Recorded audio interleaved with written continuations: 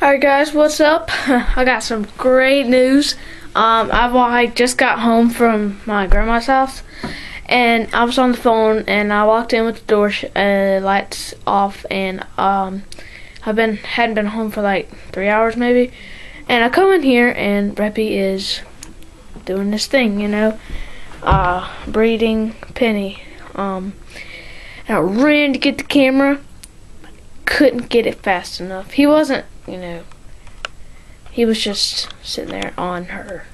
So, um, but here he is. I mean, his spots, I think his tail is sticking up slightly. Yeah, see it's sticking up slightly, and he has something hanging right there. Come on, stupid thing, focus. Anyways, Pinny is just saw her. Where'd she go? She's right there.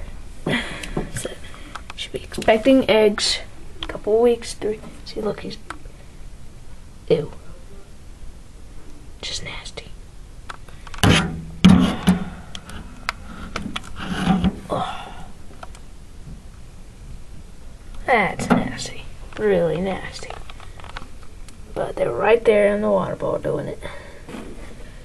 So, yeah, can't wait. His tail's still sticking up, and finally she's up and running away all this time, and now we got her. So, just wanted to let you know what has happened.